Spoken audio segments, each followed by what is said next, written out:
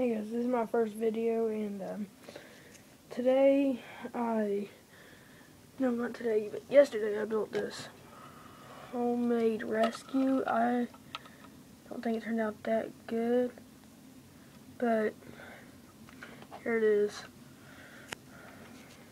Here's the front of it and side of it. It's a rescue and it has an air tank in this compartment. Then this compartment, there's a an extra hat, I guess. I didn't put that, that in there. My friend did. And you know, I put that in there. It's a little cone for road stuff, for road rescues. And another fire hat. And the fire.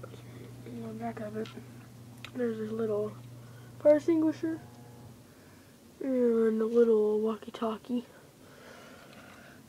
And and a ladder.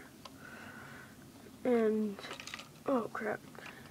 Well my friend he just put this stuff in, in it.